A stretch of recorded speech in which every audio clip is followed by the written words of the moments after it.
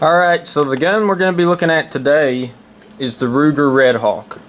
Okay, now this is a 4.2 inch model.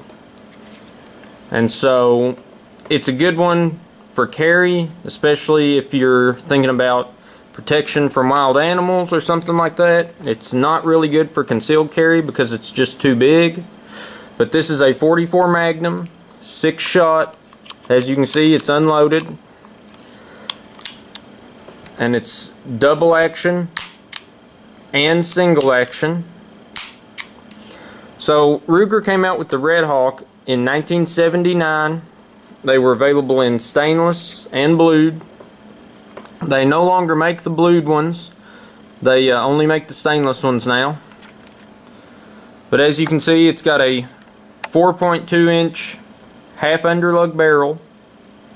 It's got a ramp front sight this one is adjustable for windage. Some of the older ones had interchangeable sights, but they weren't adjustable for windage. This one is just dovetailed in, so it's adjustable for windage. It's got an orange painted ramp on there. It's in 44 Magnum. The 4.2 inch model comes with these nice Hogue grips. It's got an exposed back strap, but they uh, they wrap around pretty well. They let you get a real good grip on it and they really help with the recoil. Uh, the Redhawk works kind of like the uh, GP100 and the SP101 in that it's got a third locking point for the cylinder on the crane right here or the yoke if you're a Smith & Wesson person and so that locks into the frame if we can get it to focus locks into the frame right there. As you shut it that little indention goes back into the crane and then snaps in.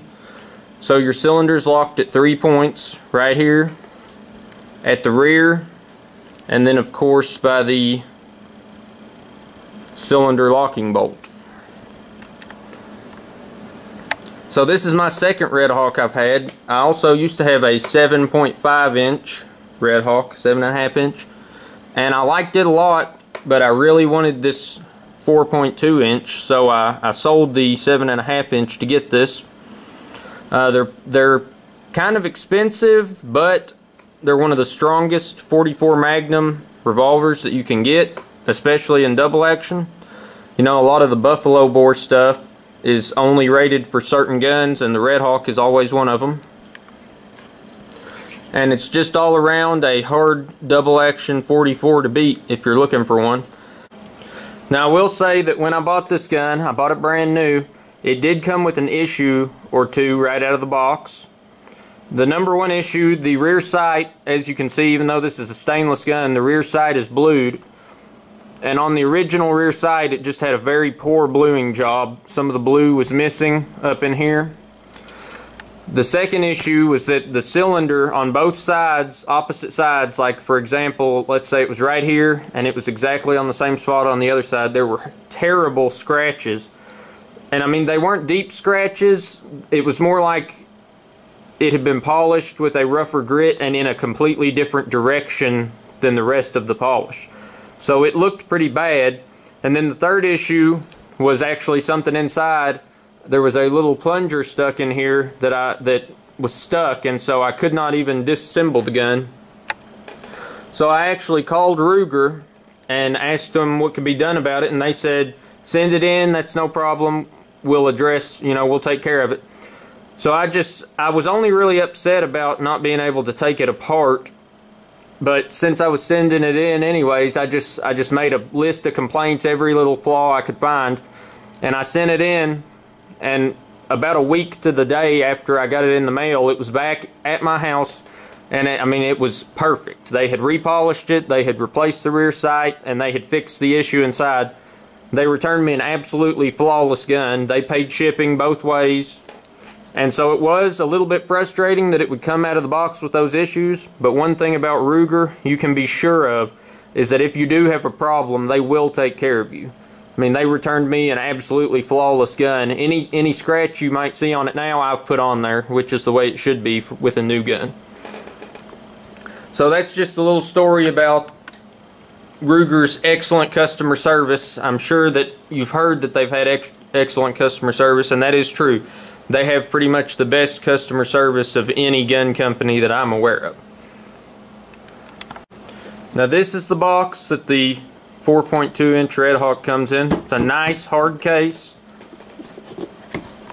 It's got these sliders to open it and they've also got a hole in them if you wanted to put a lock or something through it. So you open it.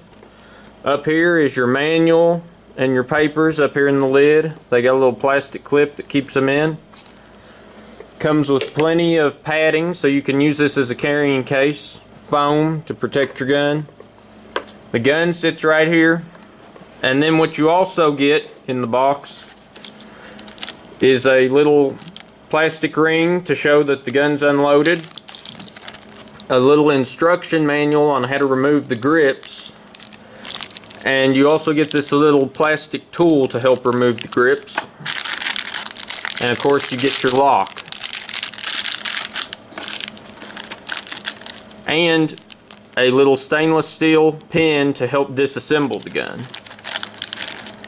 So that's everything that comes in the box. So uh, this one's a little dirty as you can tell because I've been shooting it some today. And we're going to go shoot it right now. Now we're going to shoot the 4.2 inch Ruger Redhawk. We're going to do a cylinder and single action.